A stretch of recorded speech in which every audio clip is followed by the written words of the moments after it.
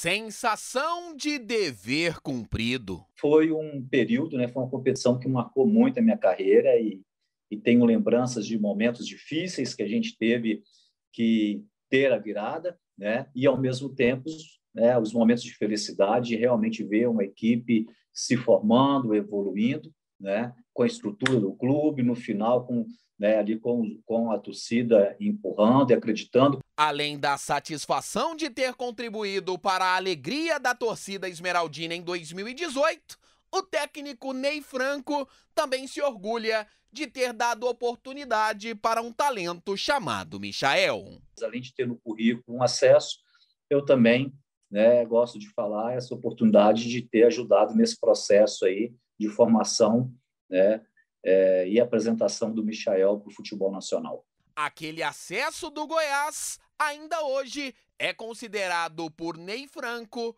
como um dos mais marcantes de sua carreira. Realmente foi uma competição é, de recuperação com três fases bem definidas. Né? Uma primeira fase muito difícil em zona de rebaixamento, depois uma, uma segunda fase na zona intermediária ali durante 11 rodadas, se não me engano, Talvez eu possa errar um pouquinho esses números aqui. E, se não me engano, a gente ficou 17 jogos dentro do, do, do G4. Né? E eu, como treinador, um trabalho também com 56% de aproveitamento, que é um número muito, muito interessante. Né? E, e o bom é que tudo isso foi coroado aí com acesso. Mas antes de subir, o Goiás teve que se superar.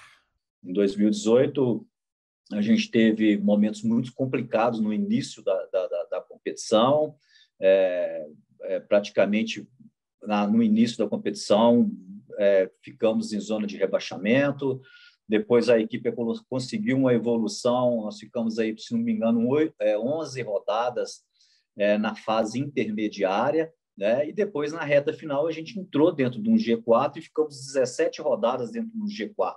Né? Então, a gente cresceu muito no final da competição, a equipe se ajustou.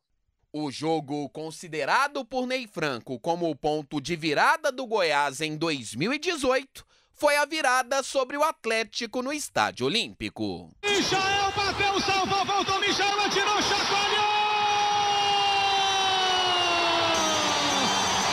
O Goiás chegou, tirou, Michael tirou a defesa, cochilou no vai marcar, salvou, gol,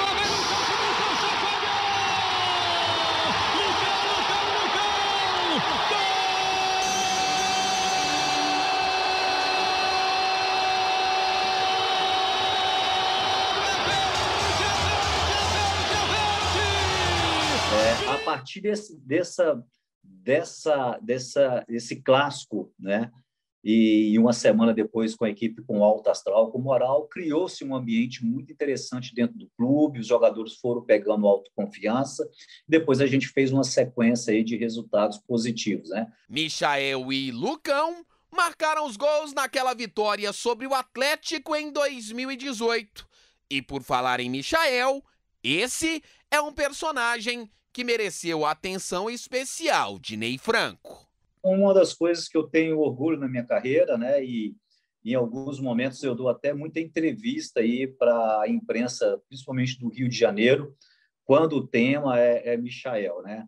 O Michael realmente, quando você chega num clube, principalmente clube que está precisando de uma recuperação, você primeiro papel do treinador é avaliar o elenco, né? sugerir contratações, é, olhar a categoria de base, subir alguns atletas, né? Nesse caso específico, né, a gente encontrou dentro do elenco um jogador que estava sendo pouco utilizado, né? É, e que ele ganhou espaço né, com a nossa chegada, espaço ele realmente provocado por ele, primeiramente em treinamentos, né?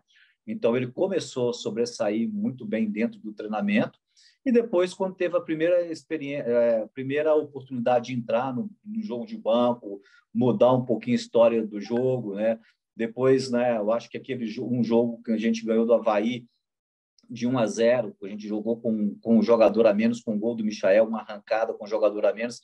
Ali, praticamente, ele, ele realmente ganhou a posição né, de titular e, e você usou a palavra certa. Né? Logicamente que É, todos os jogadores né, foram importantes na conquista, porque ninguém ganha sozinho, a comissão técnica, a diretoria do clube também, que deu toda a estrutura para desenvolver o nosso trabalho, mas eu acho que o Michael realmente ele foi um, um jogador determinante ali para aquele acesso nosso. Eu acho que se a gente não tivesse no nosso elenco um jogador é, com essa qualidade do Michael, talvez a gente não conseguiria aquela arrancada que a gente conseguiu em 2018.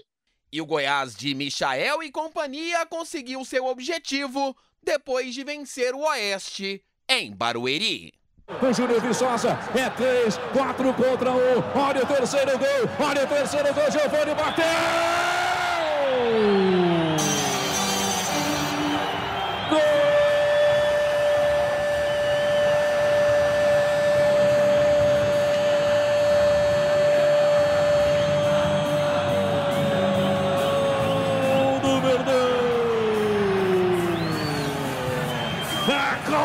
Gigante! Agora ninguém mais segura, ninguém tira, tá carimpada a presença do Goiás na Série do Campeonato Brasileiro. Um contra-golpe mortal puxado pelo Júnior Viçosa.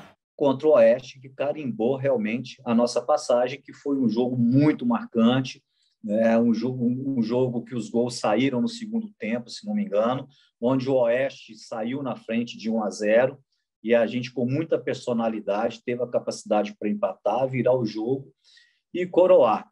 O Goiás de Ney Franco, em 2018, fez o que busca hoje o Goiás de Glauber Ramos.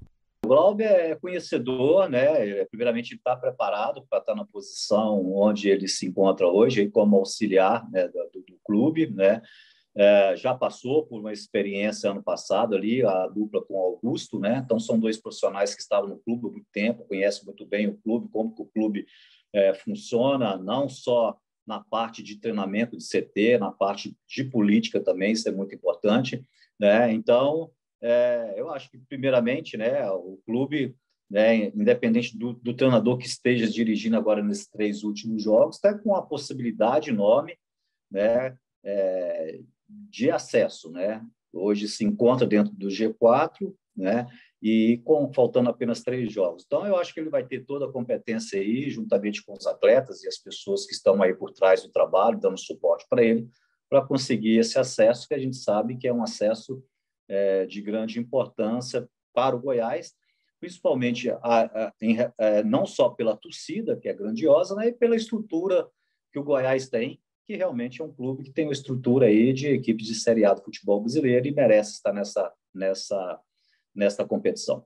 E esse caminho de volta para o lugar de onde o Goiás não deveria ter saído está próximo. E o que nos resta é torcer.